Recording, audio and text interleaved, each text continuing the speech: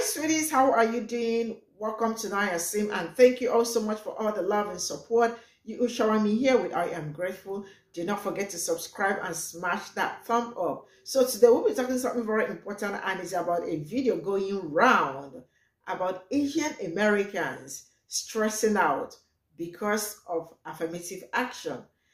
Now you all remember that black people warned them right from the onset. You know, they were actually angry because they think that black people are the major people that benefits from affirmative action, right? And black people told them, no, we don't even benefit much, anything than palm colored people and every other person. So I think they said that they wanted, uh, they wrote a, they wrote petition uh, asking for affirmative action to be struck out so it would be easier for them to get into college or people can get into like prominent uh, universities without knowing where they are from. But as it stands, I am sorry it is not going the way they wanted because what they wanted was to sideline black people and get what they are looking for. And then not knowing that the palm colored people are using them as pawns, pawns against themselves too, not just against black people. Their plan was to do this against black people, but as it stands, they are all stressed out. They are all worked up. They are all seeing like the result of what they did. Let's get into this video. Hmm. Well, what do you know? Surprise, surprise.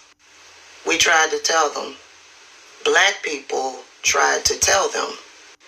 Black people tried to tell a small group of Asians that included Team Chu, and the Asian kid from Canada that working with white supremacist Ed Blum will not give you better chances in getting into these elite colleges like Harvard and Yale.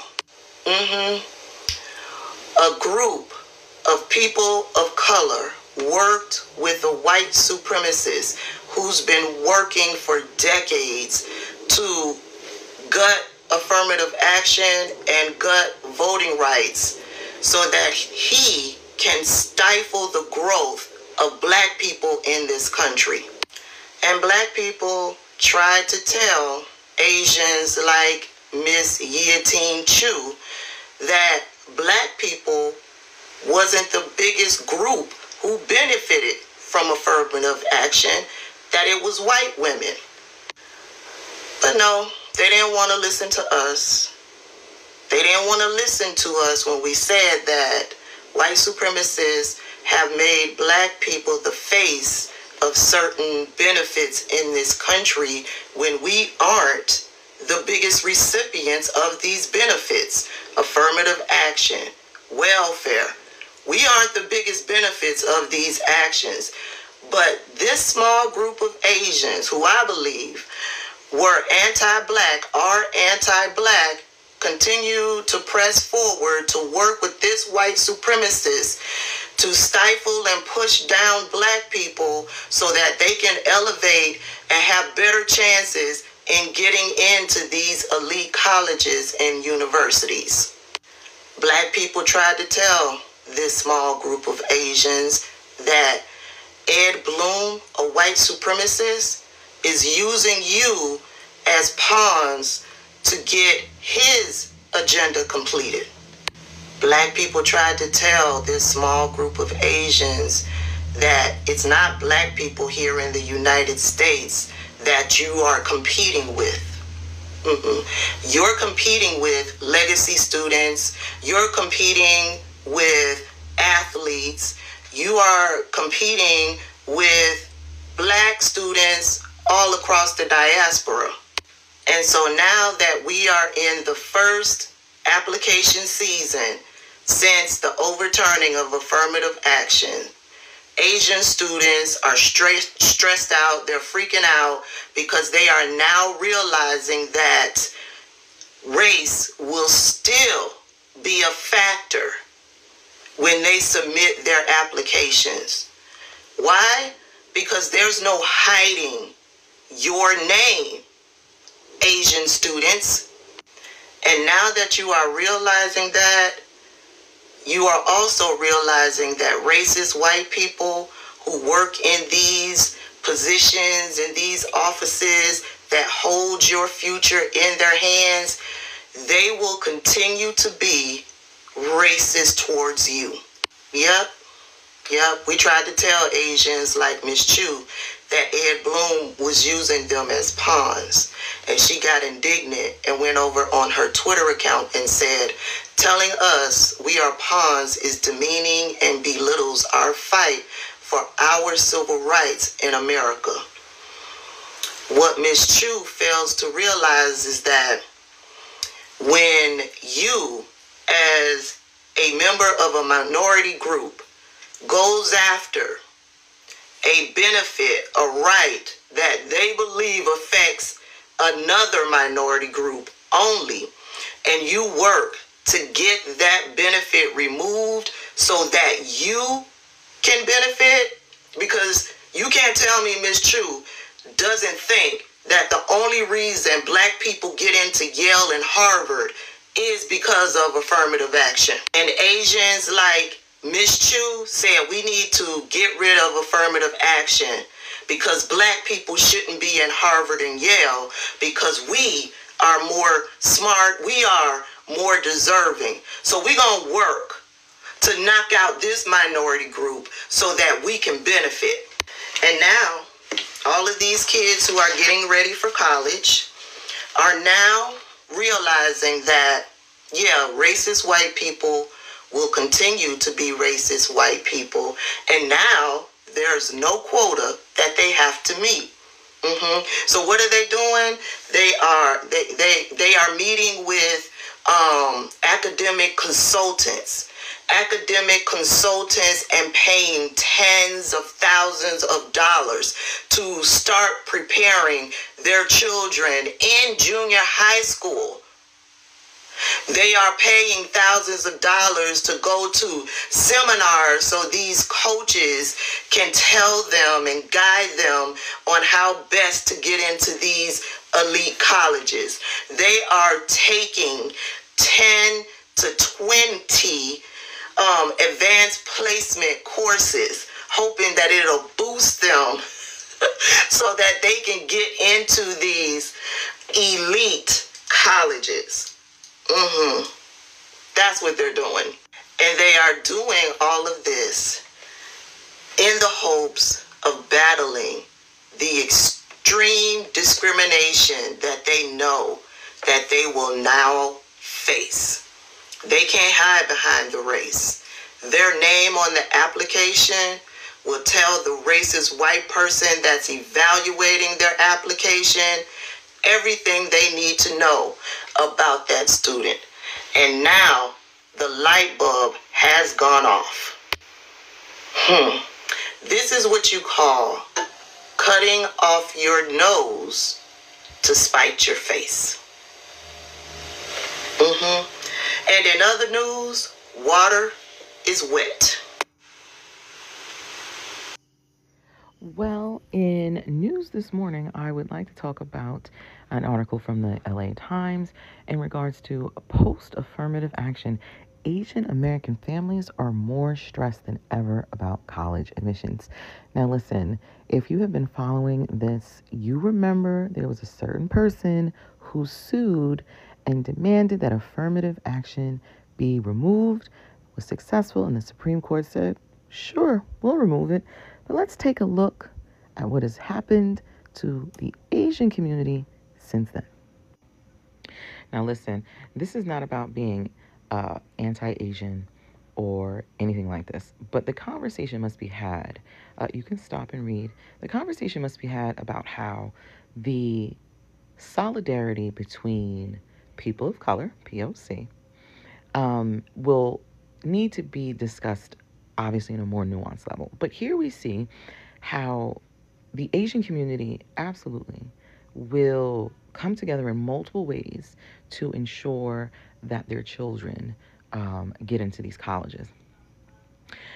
I think the conversation needs to be had with the Asian community. And before anybody comes for me, because you can't. Um, I'm half Asian. Um, I know that phenotypically, I don't look it, um, depending on the lighting and depending on how I wear my hair. But this type of cultural difference um, is not going to get your kids into Harvard. Um, these extra pushes uh, are not going to get them into MIT.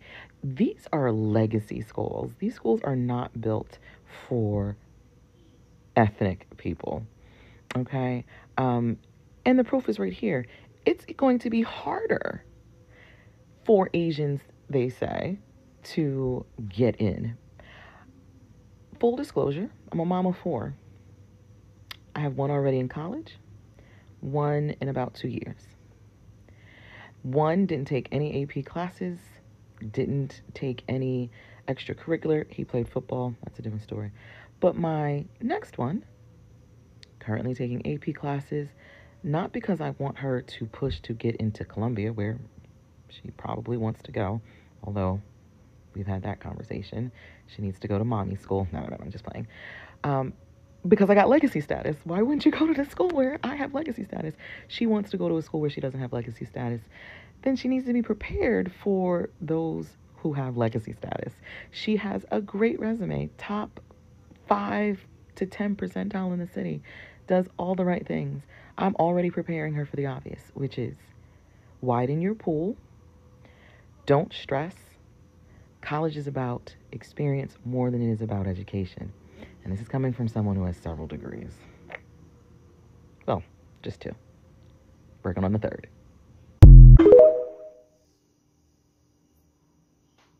I just read this. Post affirmative action, Asian American families are more stressed than ever about college admissions. We're talking about Harvard and Stanford, those schools.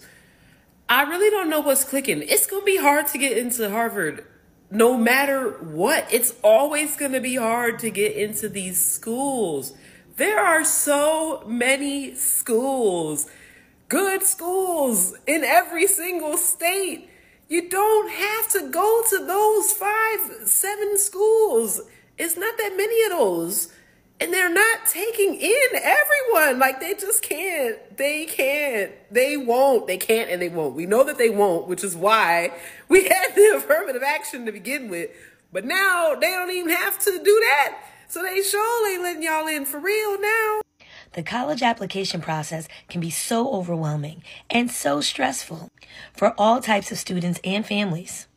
But the LA Times had a recent article that just came out describing how Asian American families and students are really feeling overwhelmed and stressed out, especially since the Supreme Court ruling in June that struck down affirmative action in college application and admissions decisions.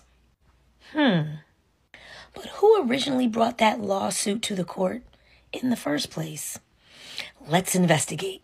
In the first college application season since the Supreme Court struck down affirmative action, Asian American families are more stressed out than ever about college admissions. Hmm. As this commenter here said, I wonder why that is. After the affirmative action ruling, Asian Americans ask, what happens next? And to that I say, welcome.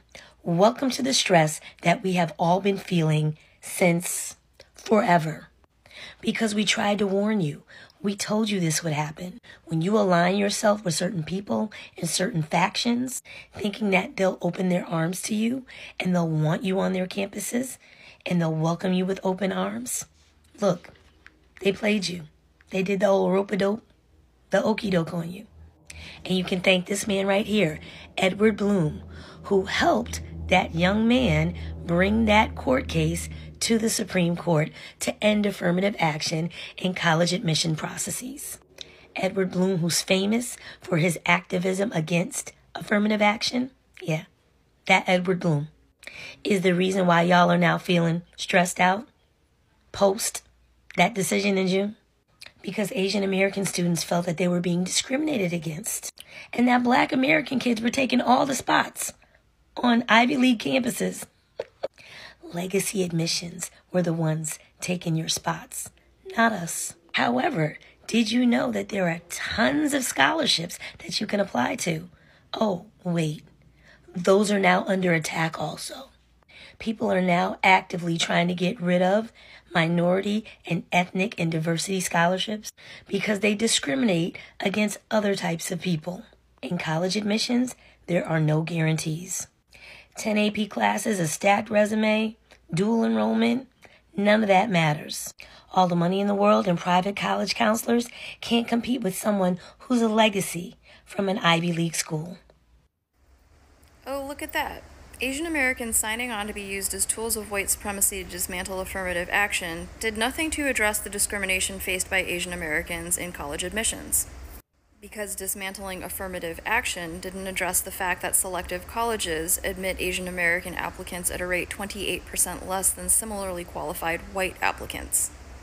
It's almost like the discrimination faced by Asian Americans in college admissions never had anything to do with black students or affirmative action, and had everything to do with legacy admissions and the choices that colleges make to discriminate against Asian Americans in order to give preferential treatment to lesser qualified white students. If only black people had tried to warn us. Oh, wait, they did. If colleges admit Asian American applicants at a rate 28% less than similar. So I kind of have this theory that the Asian Americans who were signing up for this affirmative action to be removed um, out of the the disguise of oh it's about we just want a fair we just want fairness in the application pro- process. I don't think they actually cared about fairness. I really think that their whole thought process was that if they could eliminate black people from having the opportunity, that they could themselves take up those spots. Because just think about it, like there was this idea that there's a certain amount of, um, you know, percentage of selected from each demographic, and I think they cared more about eliminating one demographic so that they could take up those more percentages of those spots than they actually cared about the fairness of it all.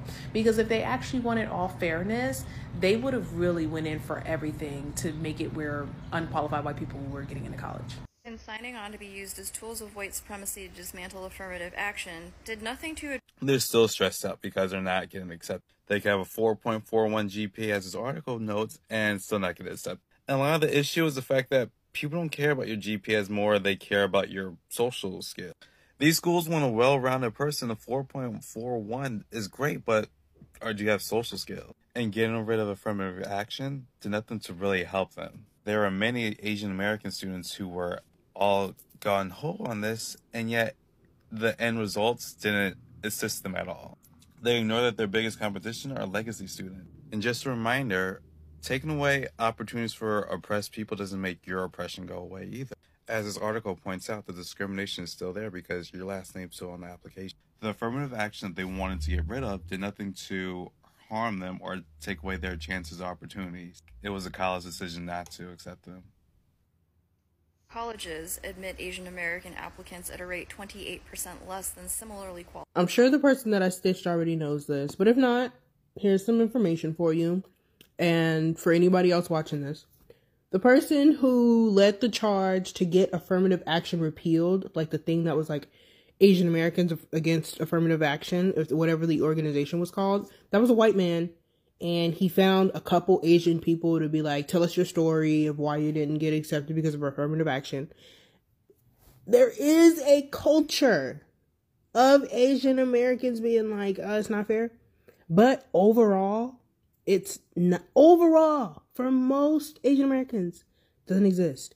That was one white man who did it and used Asian American like like the the book Yellowface by R.F. Kuang. It was like that, but with fucking Congress or, or Supreme Court, excuse me. Nobody cares.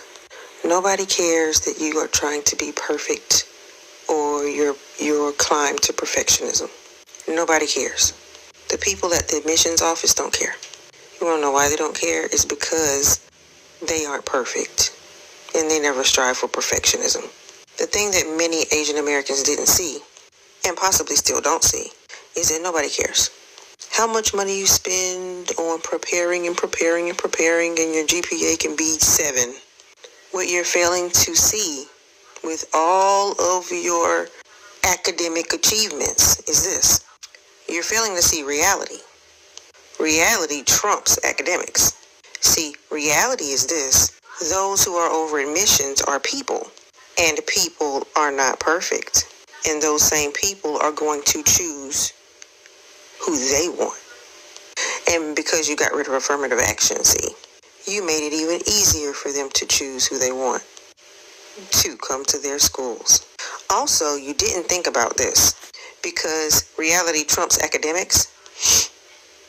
There may be some of those same people who are pretty pissed and don't like perfectionists or those who feel like they should have been ahead of somebody because they made a whole 9, 10, 11, 12 points higher. Sometimes people tend to look at people like that as they feel entitled to something. And that can bite you in the butt because if you feel entitled to something just because of some random classes you took or the thousands of dollars you paid to prepare, then in their minds, they may disqualify you.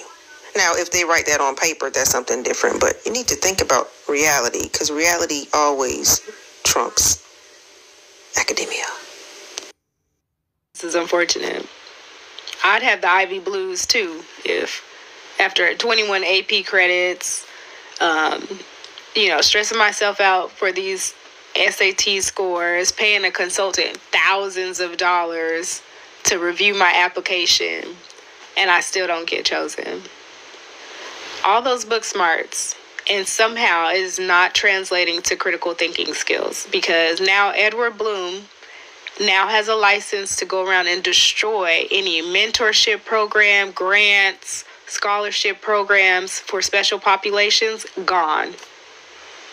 Was it worth it? the Fearless Fund. He's already annihilated that.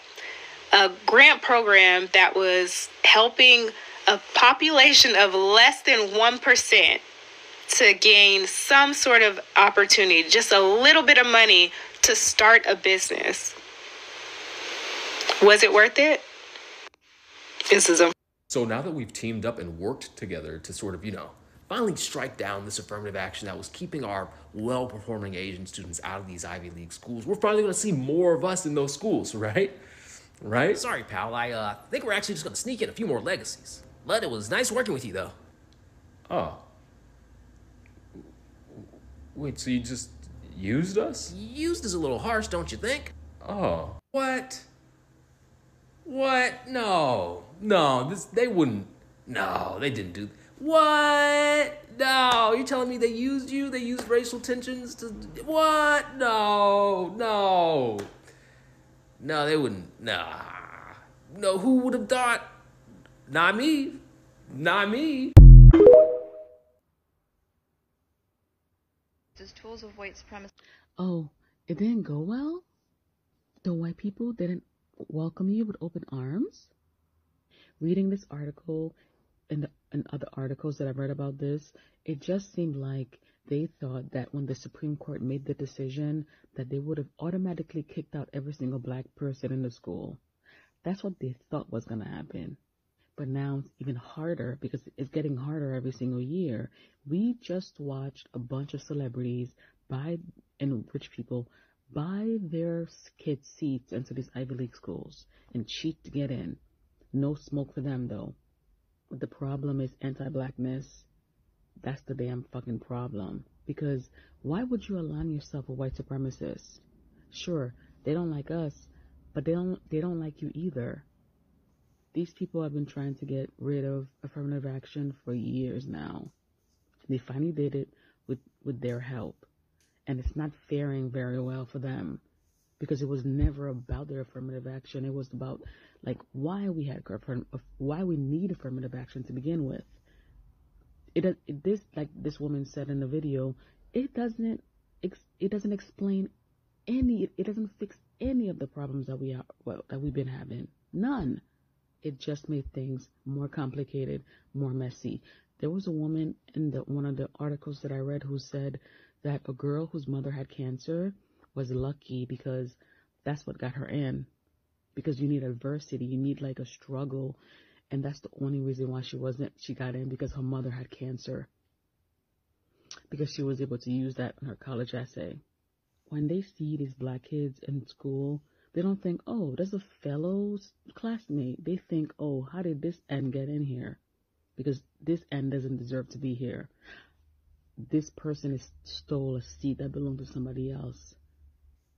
That's that's the damn damn that's the damn issue because everybody coming in here has a high GPA. You need at least a 3.8 to get in here, and people have 5.2s. And now they in the articles they're they're not blaming black people anymore. They're blaming these like college advisors, people th- they pay stacks of money to to help to help them get into these schools. They're blaming them. It's shifted now, but it's like the damage has has been done. We already see what, what what's what's going on. Like I said, they may not like us, but they don't like you either. So this is all I got. Excuse me. This is all I got from this video. And sincerely speaking, I really like you know.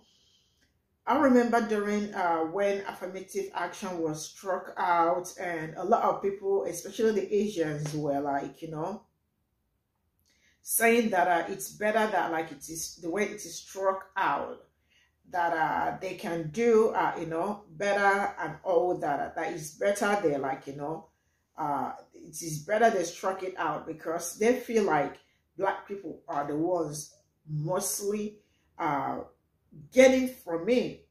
And then black people actually told them that this thing you people are struck you struck out we are not the cause. We are not the reason why you all or some of you all are not getting admission because to them they said that black people are the reasons why reason why some of them are not getting admission into Harvard and some other prominent uh, universities and all that. And then they wrote a, they wrote petitions to struck out uh, affirmative action, which was already like done. And as it stands right now, they are all tensed out they are all stressed out that uh, uh, the reason why they wanted this to, uh, to like, you know, they do not want to be judged based on your race or where you're from or something. But now it is that uh, they will be like, you know, once they, they will know where you are from, your race and all that. Black people have been telling them all these years because one thing with Asians is that, Asian Americans is that they are trying so hard to fit into this white supremacy thing. Like, you know, they really want to be bad white so bad that all sometimes what they do is they look for a way to do things that will affect black people. Most times they do things thinking that it is going to affect black people, but then it backfires. I love to see things like this happen because some of them are really, are really, really like, you know, crazy.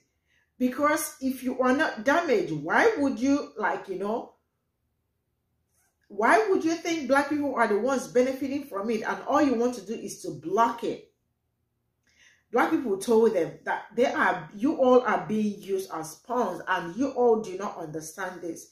But in the end, you all are going to understand that uh, it is not we against you. And now, they are beginning to understand that they are doing nothing but helping palm-colored people to achieve their white supremacy. Now, as it stands, they are boiling. They are going through it. And I love the fact that they are going through it because they think it's all like, you know, we are supposed to, uh, like, how are we supposed to benefit from some certain things? Because all the time, they are always like, why is it always black people, always black people? But now you all understand that all the things, number, so, what is that? These people do not listen to black people. They don't listen to black people. They think black people are just, uh, how do I say that? They only fight for themselves. And uh, they forgot that black people sees ahead, ahead of all of them. And this is something that I have noticed. When black people want to scream, they scream the loudest. They, if, they, if something is affecting them, they are speaking out. They are saying it. They are not even like, you know, holding back. They speak it and they see ahead. because they have been through it. They know the people that they are dealing with. So they understand them. So when they were screaming it, telling Asians that you all better relax, that it is not you, we against you people, that this thing you all are doing will eventually backfire, and they did not listen. They said black people are their problems. Now we know who the problems are. It is the people using you people against yourselves.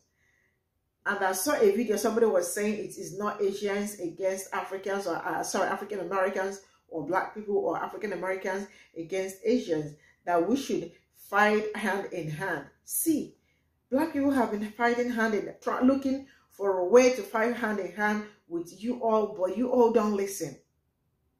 You all only come out when it is necessary or when, sorry, when it is convenient. When it is not convenient, you all don't come out